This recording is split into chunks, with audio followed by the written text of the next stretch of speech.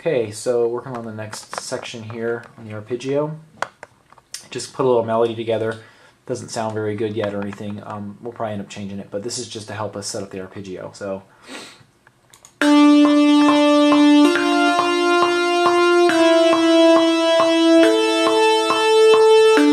obviously, obviously this note right here is really off, so we're just gonna slide it over and drag this one over a little bit and pull this guy back a little bit here. Okay, so just like that, that's fine. We can play with that. So, all right, we got a little bit of a melody going. Um, next thing we're gonna do is go ahead and um, put this up here.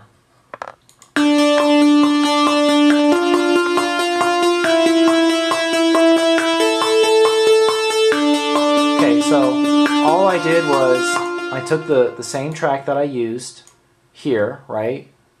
And I just dragged it up to the arpeggio. Now,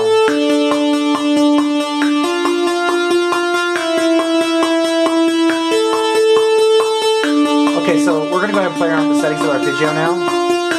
Let's go ahead and see if I can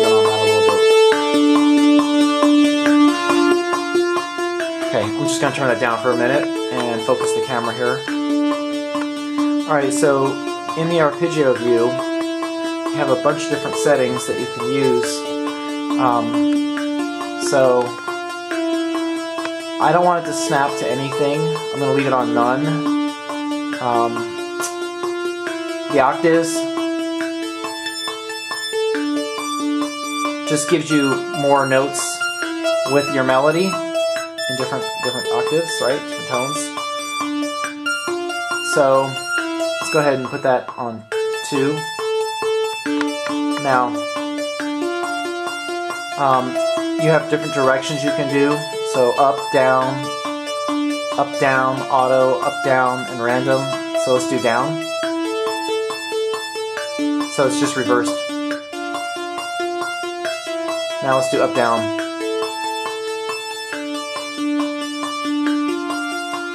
Now let's do auto. Okay. Up, down, 2D, or D2.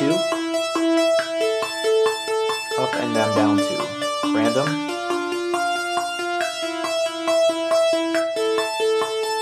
And then all. Okay, so let's just go ahead and select up, down for now.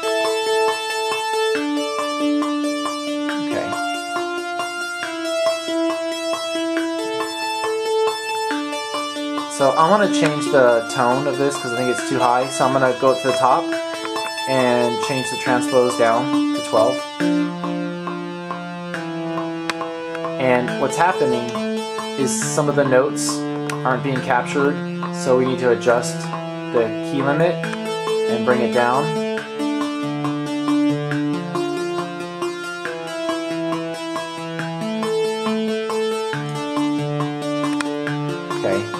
Actually will play it lower now. See if we can bring down the lower.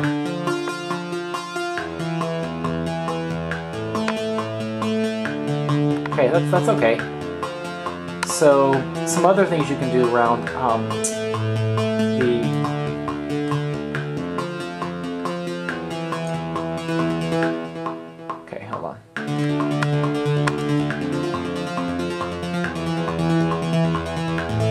So that's like, it's a lot faster, you can tell. Right? Really fast.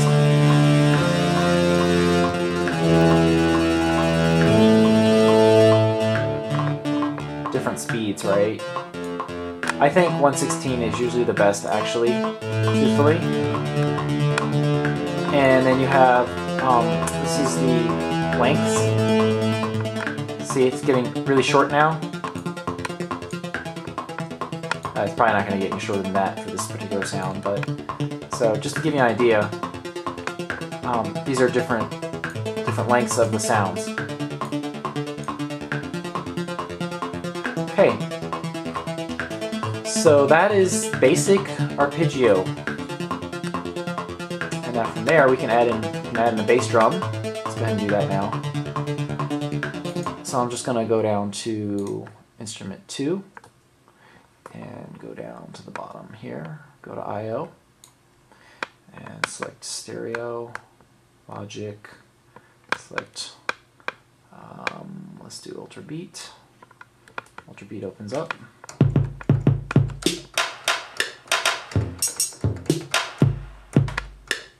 So there's Ultra Beat, and let's find a drum kit that we like. And I like the, where's it at? UK House Kit, right here.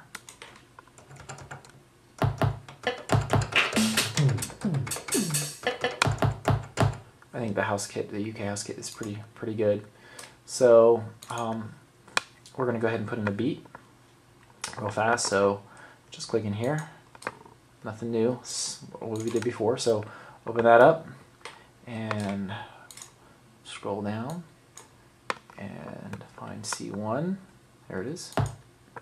And it remembered what my note length was so from the other strings we were working on, the sound, the arpeggio we were working on. So put a beat there, put one here, one here, one here.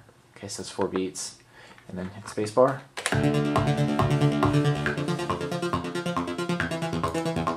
Okay. So now you've got your bass drum. We need to make a copy of that. Since we already selected, just click at the top on 2. Right, the little yellow line moves at the end. Do Control C, Control V, V, V, right, four times so it matches the length of our arpeggio. Hit the spacebar.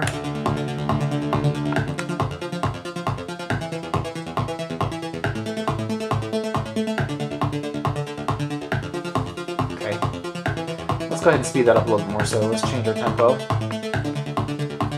Faster.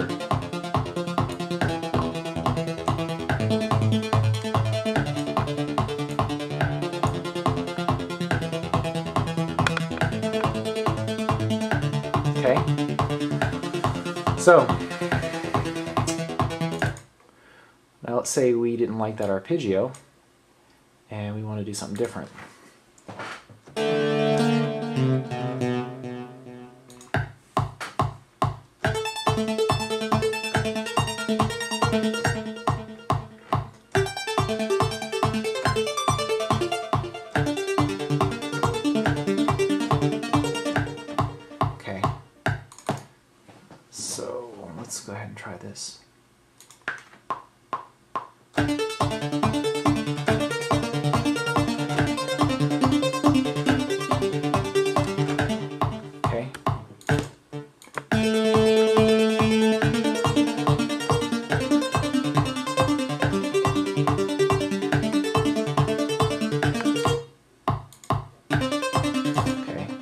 Quantize that. do 116.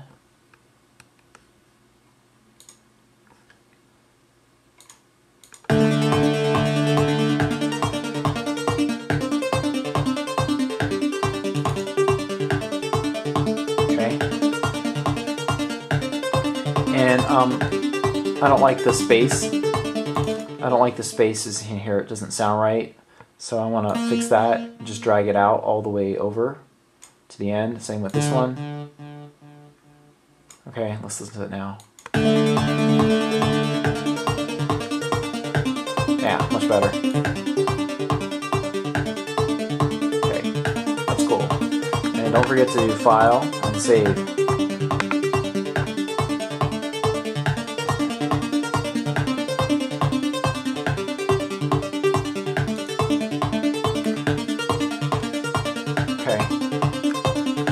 Add some more percussions in here now. Um, okay, go ahead and do some percussion. So I'm just clicking on the drum track and repeating it. Okay, so now I'm going to take this track and drag it up to the top. Keep my drum tracks together.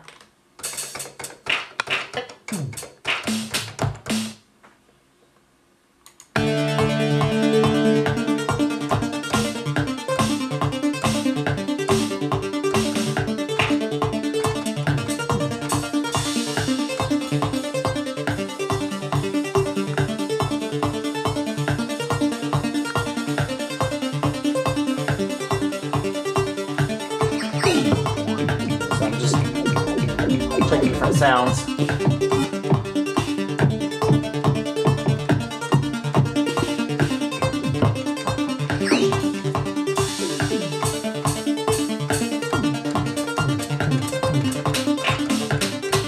Okay. I'm gonna stop this and we're gonna start up in a minute again.